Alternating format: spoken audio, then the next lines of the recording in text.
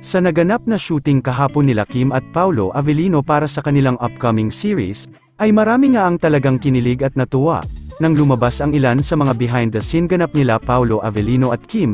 Sa nasabing mga larawan kasi, ay mapapansin ang kaswiten nila Kim at Paulo, mas lalo din nakinilig ang mga fans nang makitang inaayusan ni Paulo ng buhok si Kim. Matatandaan na isa nga ito sa mga gustong gawin ni Paulo nang tinanong ito ni Kim sa kanyang nakaraang vlog.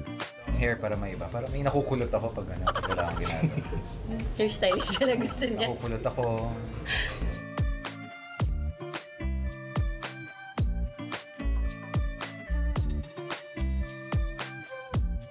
Samantala, sa paglabas ng isyo ng naging hiwalayan nila Catherine Bernardo at Daniel Padilla, ay kaagad din naman na nag-trending kahapon sina Kim at Sian, marami din ang umaasa na sa mga susunod na mga araw ay opisyal ng aamin sina Kim at Sian.